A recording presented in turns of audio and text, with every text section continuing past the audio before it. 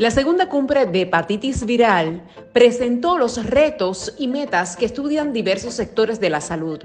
El conversatorio de voces Coalición de Inmunización y Promoción de la Salud de Puerto Rico, junto al Departamento de Salud de Puerto Rico, fue parte de una jornada científica donde estuvieron presentes los sectores que componen la comunidad clínica y los profesionales de la salud. Es importante y siempre estar pendiente a esos números hepática. Este tipo de evento es muy apreciado por el paciente de hepatitis, pues se presentan los problemas de acceso que tienen a las vacunas y también les permite conocer en detalle el proceso antes, durante y después del diagnóstico, de manera que pueda tomar una decisión educada sobre su salud.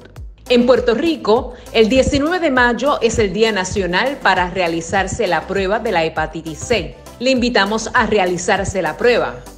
La hepatitis es una inflamación del hígado causada por toxinas, algunos medicamentos, uso de alcohol, algunas enfermedades e infección con bacterias o virus. Cuando esta inflamación aparece es una hepatitis aguda y cuando dura más de seis meses se trata de una hepatitis crónica. Las hepatitis virales son enfermedades transmisibles y se pueden prevenir como las que son de tipo viral, hepatitis A, B, C, delta y E.